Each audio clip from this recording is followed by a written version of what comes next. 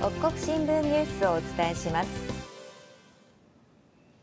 北国少年少女美術展が今日金沢エム座で開幕し子どもたちの素直な感性が光る力作が紹介されています。今年で43回を数える北国少年少女美術展は小中学生を対象にした県内最大規模の総合美術展で金沢 M 座の会場では今日午前テープカットが行われ開幕を祝いました。この美術展には絵画彫刻工芸工作それに書の3部門があり今回は1135点が入賞入選しました。このうち絵画部門の最高賞には金沢市長坂大小学校4年鳥山優斗くんの作品森の虫たちが選ばれました。また彫刻工芸工作部門は金沢市泉中学校3年太田由子さんの作品水浴びが最高賞に輝きました。そして書の部の最高賞には近代附属小学校3年あたか心さんの作品生きる力が選ばれました。子どもたちの素直な感性が光る北国少年少女美術展は今月28日まで金沢 M 座の8階催事場で開かれています。一方加賀市では台湾の子どもたちの絵画展が開かれ金沢出身の八田与一義士によってもたらされた豊かな田園風景などを描いた作品が並んでいます。今回の絵画展は推理事業に尽くした八田義士を検証する台湾の財団が県内の八田義士夫妻を主体台湾と友好の会の協力を得て実現させました。絵画展は昨日から加賀市中央図書館で始まり台湾の財団が企画したコンクールの優秀作品27点が展示されています。これらの作品は台南市河南国民小学校の児童が描き八田義士が建設を監督した宇山島ダムによってもたらされた豊かな風景や八田義士夫妻の像などを題材にしています。八田義士夫妻をしたい台湾と友好の会で世話人副代表を務める西岡博信さん61歳はこの絵画展が台湾と石川との縁がさらに深まるきっかけになってほしいと話していました。台湾の児童画展は加賀市で来月8日まで開かれた後金沢市役所や金沢ふるさと偉人館それに小松空港で巡回展が開かれます。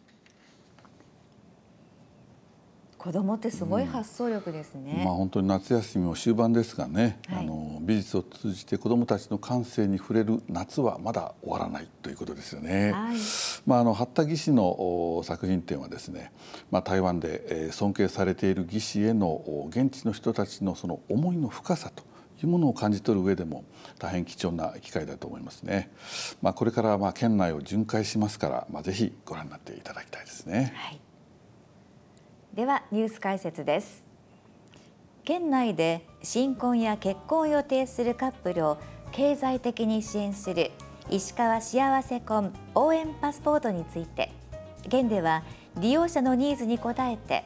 現在2年の対象期間を9月から4年に延長することになりました。さあ野口さん石川で新婚生活を送るカップルにとって心強い応援になるといいですね。そうですね、まあ、この結婚応援パスポート、まあ、略してコンパスと言ってますけれどもまあ、婚姻数や出生数のその増加につなげようと2018年に始まりました、まあ、現在は入籍前後各1年の夫婦カップルがですね結婚式の会場を運営する会社やまあ、新婚旅行に出かける際に利用する旅行業者住まいを求める際に利用する不動産業者など、まあ、コンパスにあの協賛するお店や会社から割引のサービスを受けられるということなんですね。まあ、7月末時点で、え利用したのは累計で6581組まあ、県は、まあ、対象の4組に1組1組が、えーまあ、制度を利用していると推計しています、まあ、かなり高い割合じゃないかなとは思いますけれどもね、えー、まあ、県ではあ利用者ニーズに応えて、えーまあ、利用期間をですね延長して、まあ、利便性を高めるということですね、はい、この利用期間を延長するというのは、うん結婚への考え方が微妙に変化していることも理由、ね、そうなんですね。まあ県によりますと、この事業を開始した5年前と比べて、えー、コロナ禍を経て、えー、結婚の形にまあ変化が見られ、まあこれまではまああの式を挙げた後すぐに新婚旅行へ行くというのが一般的な流れでしたけれども、まあ入籍と挙式、そして新婚旅行の時期をまあここずらしてですね。まあ、結構長い間この結婚関連イベントを楽しもうというそういうカップルが増加しているということですね。まあ、このため、えー、対象期間がちょっと短いんじゃないかなというようなあの指摘も出たということですねこれを考慮して、まあ、対象期間を入籍前後の各2年間まあ、最長で4年間にまあ延長することを決めたということですね。同じような事業はですね13都府県でまあ実施されているんですけれどもこのうち5つの県が対象期間を4年にまあ拡大しているそうですね。そうなんですか、うんこの事業に協賛するお店も年々増えてきているようですから、うん、さらに利用者を増やしたいですね。そうですね。あの県内の1年間の成婚数、結婚した数ですけれども、まあ4200組程度なのに対して、まあこのコンパスの交付数は年間1100組程度となっています。まあ協賛するお店はですね、当初の約560店舗から7月末時点で760店にまあ増えたということで、まあこれはまあお店のイメージアップにもつながるからでしょうね。はいまあ、県は今後協賛店舗がさらに増えるようにまあ働きかける方針です。まあ、県の担当者はですね若者世代の負担を軽くして社会全体で結婚に対する機運を盛り上げていきたいというふうに話してますね。石川で安心して夫婦生活や子育てをしてもらうためには年代にこう応じた切れ目のない支援というのも必要でしょうね。うん、大事でしょうね。はい、まああの去年のこの出生数を見てみると全国で1.26とまあこれ過去最低ですね。うん、石川は1.38と前の年とまああの変わりませんでした。なかなか厳しい状況なんですけれども、はい、まあ県ではまあ子育て支援の石川エンゼルプランの中でまあ結婚そして出産の前後で子どもの教育機関を含めた、まあ、継続的な支援を掲げていて、まあ、子育て環境の充実を図っています、まあ、そうした点が、まあ、住みやさの高い評価にもつながっているんじゃないかと思いますけれども、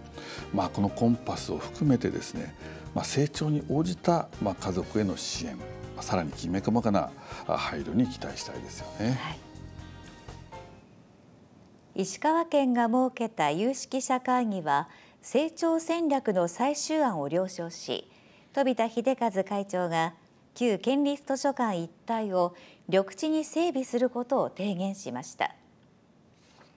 有識者会議は昨日金沢市内で最終回の会合を開き会議の会長を務める県芸術文化協会の飛田秀和会長が旧県立図書館を取り壊すとともに老朽化が進む県社会福祉会館と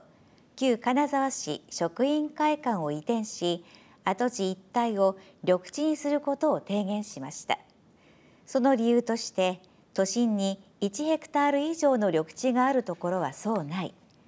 金沢の新しい都市像を発信する材料にすべきだと指摘しました。提言を受けた長谷知事は今後のことを考えた提言でありしっかりと受け止めたいと述べ検討を進める考えを示しました。石川県は有識者会議で出された他の意見も考慮して成長戦略案をまとめ9月定例県議会に提出することにしています。有識者会議が了承した成長戦略の最終案では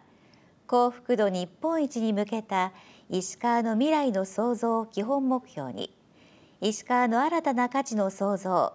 県民が健やかに安心して暮らせる社会の構築の2つの視点を打ち出しています。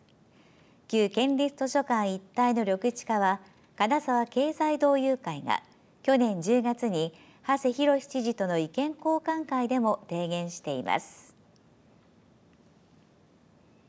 北国新聞社の白山印刷センターに見学ルームが完成し来月から見学の受け入れが始まります。白山印刷センターは北国新聞創刊130年と富山新聞創刊100年の節目に合わせおよそ70億円をかけて白山市鹿島町に建設されました。印刷センターは最新鋭の臨転機2セットを備え国内最高の48ページ40個面のカラー印刷が可能で今月から全面稼働してこれまでより鮮明な紙面を実現しています。センターの3階に完成した見学ルームからは臨転機の回転する音やインクの匂いとともに印刷工場の内側や高速で紙面がすり上がる様子をガラス越しに見ることができます。見学ルームには解説パネルが置かれ鉛の活字を使っていた頃と現在の比較や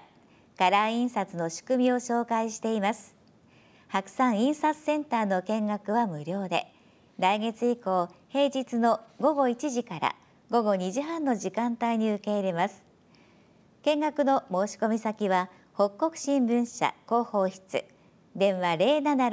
076-260-3402番です。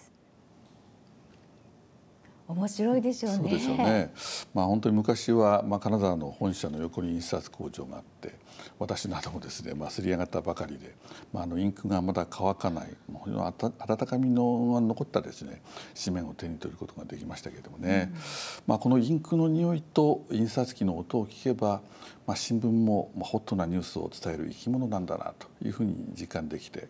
まあ一般の方も新聞の魅力の一端に触れることができると思いますね。はい、まあぜひひ足を運んでいただきたいですねバス運転手の不足が深刻化する中学生向けに仕事の体験会が開かれ大学生などが公共交通の役割に理解を深めました。金沢市は若い人たちにバス運転手の仕事の魅力を伝え運転手の確保につなげようと去年に続き体験会を企画しました。昨日の体験会には県の内外から大学生など7人が参加し金沢市音丸町にある西日本 JR バスの金沢営業所で運転手の仕事に触れました。参加した学生たちは実際に路線バスの運転席に座りミラーの見方や扉を開け閉めする方法などを教わりました。一方座談会では出席した運転士がお客さんからありがとうと声をかけてもらえるのが一番のやりがいだなどと仕事の魅力を語りました。参加者のうち金沢駅でバス案内のアルバイトをしている学生は移動手段を持たない人のためにも地域の足を維持することは大切。将来は公共交通に関わる仕事に就きたいと話していました。地元の交流を図ろうと住民が企画した星空観察会が明日金沢市金岩地区で初めて開催されますこの観察会はコミュニティスペース金岩スタジオの運営メンバー吉野善昌さん67歳が金岩海岸近くにあるスタジオが周りに建物がなく星空がよく見えることから企画しました。観察会を通して地元の交流やスタジオの利用を促すのが狙いで明日は吉野さんの中学時代の同級生で金沢星の会会長を務めたこともある中島秀夫さん68歳が講師になり参加者が天体望遠鏡で月や土星を観察します。吉野さんは星空観察会を不定期で継続したい考えで子どもからお年寄りまでがつながるきっかけになってほしいと参加を呼びかけていますここまで北国新聞ニュースをお伝えしました。